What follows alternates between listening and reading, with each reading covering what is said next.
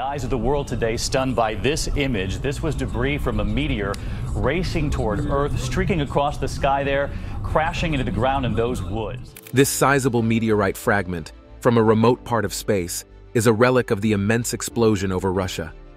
Imagine waking up to a day etched in mystery. Over a century ago, an explosion rocked Siberia, sparking debates and investigations. Known as the Tunguska event, this bizarre incident continues to puzzle scientists. Some speculate it was caused by a meteoroid or comet, while others propose alternative theories, such as a black hole or even extraterrestrial activity. Regardless, its enigmatic nature persists, captivating curiosity and inviting further exploration into one of history's most intriguing natural phenomena.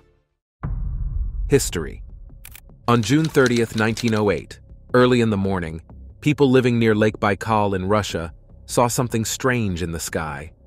It was around 7:17 a.m. when they noticed a bright blue light moving across the sky, leaving a trail behind it. As it got closer to the horizon, there was a huge flash followed by a pillar of fire that lit up the area with a red glow. This pillar split into two parts and then disappeared. About 10 minutes later, there was a loud sound like cannons firing, and it shook the ground, knocking people over and breaking windows even hundreds of kilometers away. The explosion was so powerful that it was recorded on seismic stations across Eurasia, and its shock waves were felt as far as Germany, Denmark, Croatia, and even Batavia in the Dutch East Indies and Washington, D.C. Some people estimated that the shock wave was as strong as an earthquake measuring 5.2 on the Richter scale. For several days that followed, the night skies in Asia and Europe glowed brightly, and people could take pictures at midnight without using flashbulbs. Experts think that the glowing effect in the sky might have been caused by light passing through ice particles high up in the atmosphere. These ice particles likely formed because of the explosion's extremely cold temperatures. A similar phenomenon was later observed by space shuttles. Even in the United States, there were changes observed in the atmosphere's transparency, suggesting an increase in dust particles. At the time of the explosion, Siberia, where it happened, was not densely populated, but there were still eyewitnesses who saw and felt the event. They reported seeing the sky split open, fire coming down, and feeling intense heat. Some people were even thrown off their feet by the shockwave. One witness, S. Semenov, described feeling intense heat and hearing loud noises like rocks falling from above. He even saw hot winds racing between houses and damaging crops. Another witness, Chuchan, described waking up to strong winds and seeing trees falling and branches catching fire. He thought he saw a second sun in the sky. Newspapers at the time reported unusual events, like bright lights and loud noises, in various villages near the explosion. Some people heard thunder-like sounds, while others felt tremors in the ground. Buildings shook and windows shattered. It was a terrifying experience for many, who thought it was the end of the world. After the event, there were different theories about what caused it. Some thought it was a meteorite impact, while others suggested a volcanic eruption or even a collision with a small black hole. However, due to the remote location and the political situation at the time, scientific investigation didn't happen until nearly 20 years later. Scientific investigations. Since 1908, researchers, mostly in Russia, have penned around 1,000 scholarly papers regarding the Tunguska explosion. The understanding of this event's cause and magnitude today relies heavily on post-event damage assessments and geological studies due to the site's remoteness and the limited tools available at the time. More than a decade after the explosion, the first scientific examination of the region occurred, hampered by its isolation and political instability in Russia. It wasn't until 1927 that Leonid Kulik, a Russian mineralogist, spearheaded a survey of the area, though his team never reached the central blast zone. Guided by local reports, Kulik suspected a massive meteorite impact and persuaded the Soviet government to sponsor an expedition to investigate further. Kulik led a scientific team to the Tunguska blast site with the expectation of finding an impact crater. However, to their astonishment, no crater was found. Instead, they encountered scorched trees standing upright in a roughly 8 kilometer zone, with trees further from the center partially scorched and knocked down in a radial pattern.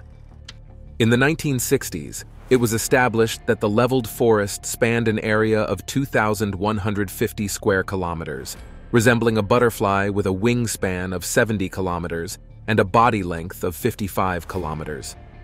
Kulik identified holes in the ground, which he initially believed to be meteorite impact sites. However, subsequent expeditions disproved this theory, including the draining of a bog named Suslov's Crater, revealing an old tree stump instead of a meteorite crater. Additional expeditions in the following decade discovered microscopic silicate and magnetite spheres in the soil, akin to those predicted to exist in felled trees. Later expeditions confirmed the presence of such spheres in tree resin. Chemical analysis revealed high nickel proportions relative to iron, suggesting an extraterrestrial origin. Moreover, the sphere's distribution in the soil aligned with expectations from a meteoroid airburst. Chemical analysis of peat bogs also yielded anomalies consistent with an impact event.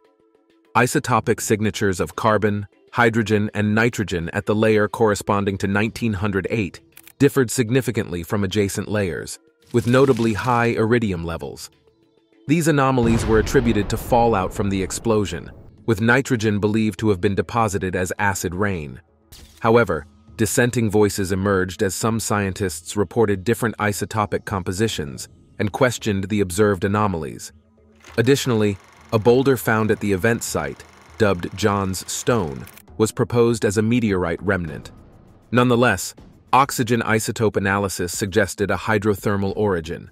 Theories In 1930, British meteorologist F. J. W. Whipple proposed the idea that the Tunguska body might be a small comet. This comet, composed of dust and volatiles like water ice and frozen gases, could have been completely vaporized upon impact with Earth's atmosphere, leaving no clear traces behind. By the 1960s, Soviet Tunguska investigators generally accepted this theory. Moving to 1978, Slovak astronomer Lubor Kresak suggested an alternative hypothesis, proposing that the Tunguska body was a fragment of Comet Encke. Comet Encke, known for its short orbit within Jupiter's path, is associated with the Beta Taurids meteor shower, coinciding with the time of the Tunguska event. The trajectory of the Tunguska object appeared consistent with what would be expected from a fragment of Comet Encke. In 1983, astronomer Zdenek Sekanina challenged the comet hypothesis. He argued that a cometary body traveling along such a shallow trajectory through the atmosphere should have disintegrated, whereas the Tunguska body seemed to have remained intact until reaching the lower atmosphere. Sekanina proposed instead that the evidence pointed to a dense rocky object likely of asteroidal origin. This asteroidal hypothesis gained further traction in 2001 when Farinella, Foschini, et al. released a study suggesting an 83% probability that the object followed an asteroidal path originating from the asteroid belt, rather than a cometary one. This brought into question the nature of the Tunguska body, with proponents of the comet hypothesis suggesting it might have been an extinct comet with a stony mantle allowing it to penetrate the atmosphere. However, the asteroid hypothesis faced its own challenges. Stony objects should typically leave a significant crater upon impact, yet no such crater has been found at the Tunguska site. Some researchers proposed that the asteroid exploded high in the atmosphere due to pressure and temperature buildup, completely disintegrating and scattering material into the upper atmosphere. This explosion would have caused the observed glowing skies. In the 1990s, Italian researchers examined resin from trees near the impact site, finding high levels of material commonly found in rocky asteroids, supporting the asteroidal hypothesis. Subsequent research by Kelley in 2009 pointed to the sighting of noctilucent clouds following the impact, a phenomenon caused by water vapor in the upper atmosphere, as further evidence for a cometary impact. Lastly, in 2009, a team of Russian researchers identified a near-Earth asteroid, 2005 NB56, as a possible candidate for the parent body of the Tunguska object based on its orbit and close approach to Earth in 1908. Analysis of fragments from the Tunguska site conducted in 2013 was also consistent with an iron meteorite, adding complexity to the ongoing investigation into the true nature of the Tunguska event. Re-evaluating Lake Cheko. Lake Cheko sits as potential proof of the Tunguska meteorite's impact. Nearby, two similar lakes have been discovered, suggesting Lake Cheko isn't as unique as previously thought. These lakes, including Lake Cheko, predate the Tunguska event and seem to have formed naturally. These findings were detailed in the journal Doklady Earth Sciences. The prevailing theory attributes the Tunguska event to a celestial body's fall. Lake Cheko's proximity to the event's epicenter led some to believe it was directly linked to the meteorite's impact. Researchers from various institutions examined Lakes Zapovednoye and Peyungda near the supposed Tunguska epicenter. They analyzed Lake Cheko's morphology and sediments, casting doubt on its association with the Tunguska phenomenon. Comparative studies revealed that Lake Zapovednoye and Peyungda share similar shapes and depths with Lake Cheko. Moreover, radiocarbon dating indicated these lakes' sediment ages exceeding that of the Tunguska event. All three lakes' locations within riverbeds suggest natural rather than catastrophic origins. Denis Rogozin, a scientist involved in the study, emphasized that Lake Cheko's shape isn't unique and likely formed through geological processes. This challenges the notion of a Tunguska event origin. The collaborative study received support from the Russian Science Foundation and involved researchers from multiple universities. Contrary to popular belief, physicists from Krasnoyarsk proposed that the Tunguska explosion resulted from shock waves generated by an asteroid's atmospheric passage. However, Researchers from the University of Bologna suggested Lake Cheko could be an impact crater, albeit contested by some experts. While past research suggested Lake Cheko's antiquity, recent studies have indicated a younger age. Recent studies have indicated a younger age. Acoustic echo soundings and magnetic readings support the idea of a Tunguska-related formation. We, we, we agreed uh, with the previous theory that the lake was very old, but on the other side, the shape of the lake is very unusual. A recent analysis of Lake Cheko's sediment cores revealed pollen consistent with the Tunguska era, though subsequent research suggested an older age based on soil composition. Furthermore, doubts persist regarding the meteorite's ability to excavate such a crater upon impact due to its mechanical properties. Alternative theories propose natural gas explosions or geophysical phenomena as potential causes of the Tunguska event.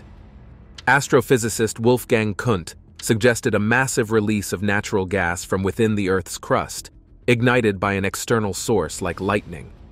Similarly, the Verneshot hypothesis posits a geological mechanism for the event. Modern technologies, Scientists from around the globe have embarked on numerous expeditions to the remote Siberian region where the Tunguska event, a massive explosion, occurred. These intrepid researchers seek to unravel the mystery behind this cataclysmic event. Armed with tools such as measuring instruments and cameras, their quest is driven by an insatiable curiosity to understand what exactly happened on that fateful day. Traversing the dense forests and mosquito-infested swamps of Tunguska is no easy feat, adding to the challenges these expeditions face. However, despite the arduous journey, these scientists persevere, driven by the desire to uncover the truth behind one of the most enigmatic events in history. Through meticulous examination of physical evidence left behind by the Tunguska explosion, scientists have made significant strides in understanding this cosmic anomaly. By analyzing tree rings and studying soil samples, every piece of evidence is meticulously scrutinized to shed light on the events of that day. Furthermore, detailed geographical surveys have provided valuable insight into the scale and intensity of the impact, aiding in piecing together the puzzle of what transpired over a century ago. Advancements in technology have revolutionized the way scientists approach the study of the Tunguska event. With sophisticated satellite imagery, high-resolution scanners, and cutting-edge simulations, researchers now have tools at their disposal that were unimaginable during the early days of Tunguska research.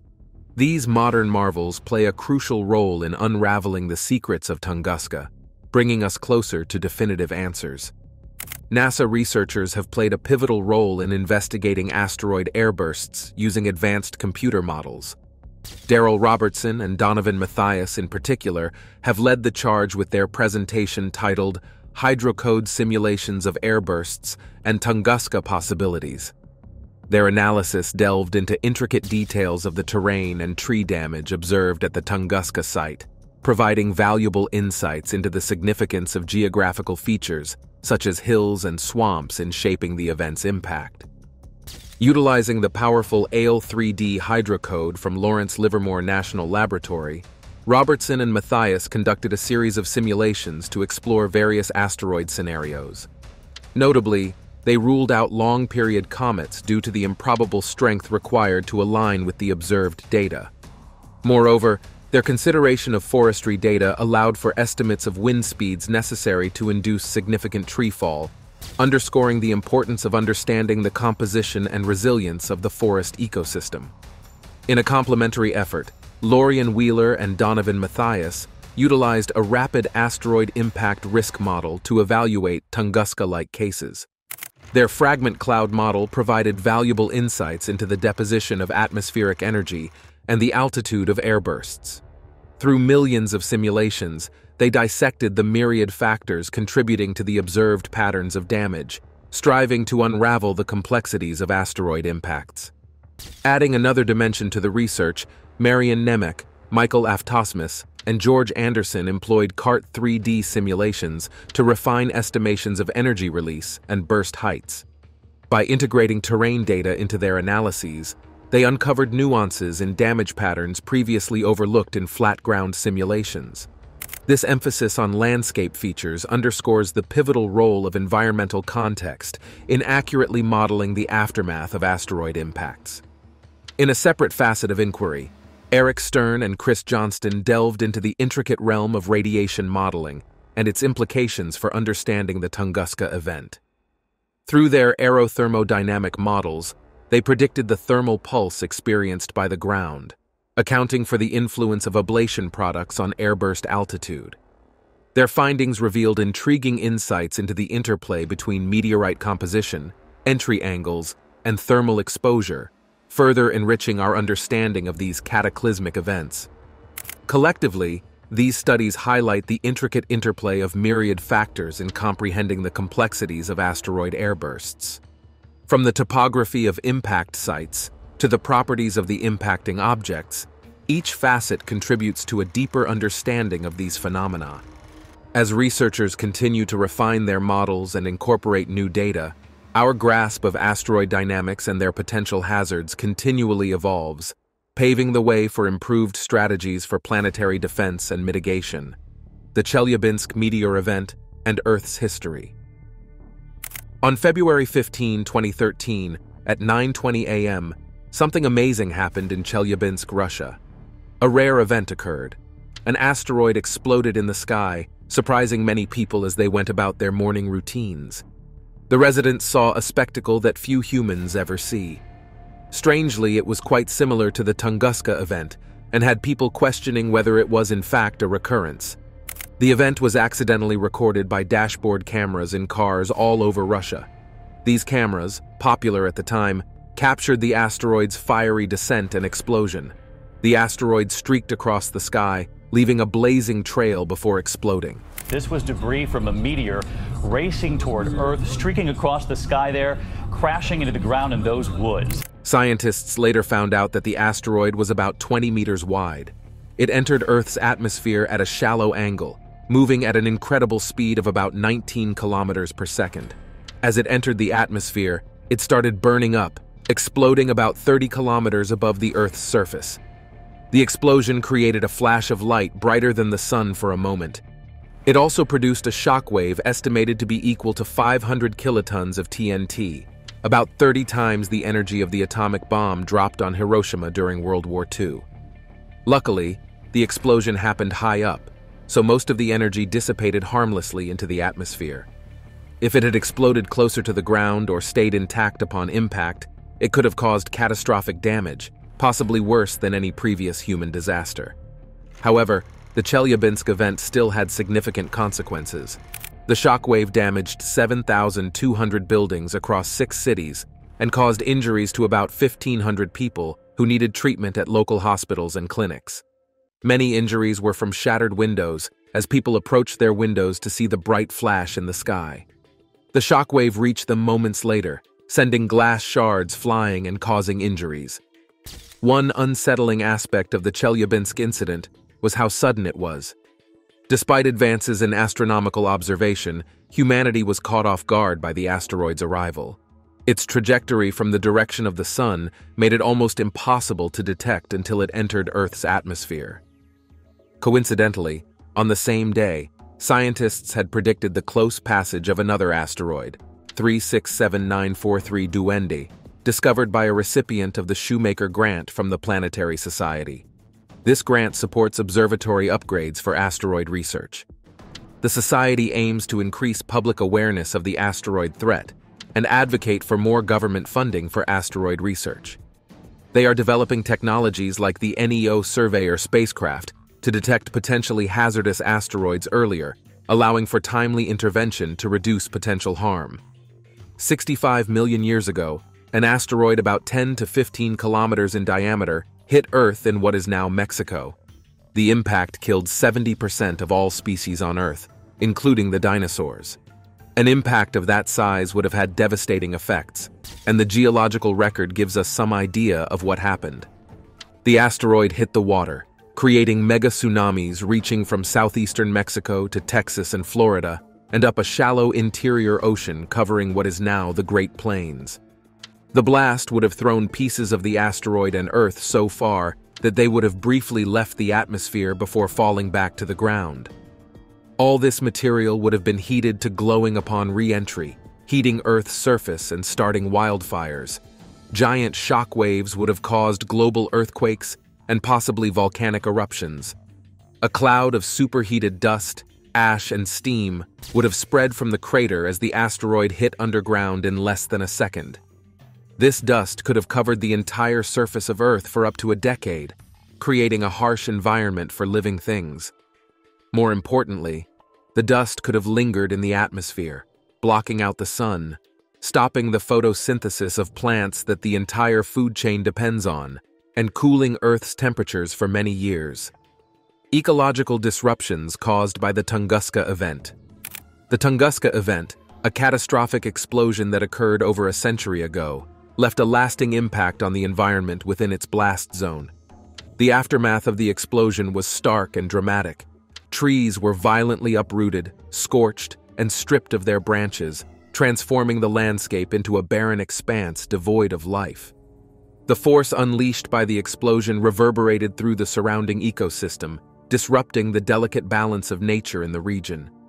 Even today, the scars left by this cataclysmic event serve as a haunting reminder of its destructive power. The ecological disruptions caused by the Tunguska event extended beyond the immediate blast zone, affecting plant and animal life in the surrounding area. Some species were wiped out entirely, while others struggled to adapt to the altered environment. This event underscored the interconnectedness of life on our planet and the fragility of ecosystems. It highlighted how a single cosmic event could have far-reaching consequences for the natural world, emphasizing the importance of understanding and mitigating the risks posed by such occurrences. The Tunguska event has since become a focal point for scientific study, particularly in the field of cosmic impact research and risk assessment. Scientists have used the event as a case study to better understand the scale of destruction caused by such occurrences and to develop strategies for protecting Earth from potential future catastrophes. By studying the Tunguska event and similar events throughout history, researchers aim to unravel the mysteries surrounding cosmic impacts and enhance our ability to safeguard our planet. Ongoing scientific efforts continue to delve into the complexities of the Tunguska event and similar cosmic occurrences. Researchers are engaged in refining models and simulations to better understand the nature of the explosion and its implications for Earth. Through laboratory experiments and the study of other impact events, scientists are gradually piecing together the puzzle of Tunguska, inching closer to unraveling this extraordinary phenomenon. Their tireless dedication brings us closer to understanding the mysteries of the universe and preparing for potential future events. Despite decades of research, the Tunguska event remains one of the most puzzling cosmic mysteries of our time. Its enduring impact on the environment, coupled with ongoing scientific investigations, underscores its significance in human history. As we continue to explore and unravel the secrets of Tunguska, we are reminded of the immense power and unpredictability of the universe. Thank you for watching and see you in the next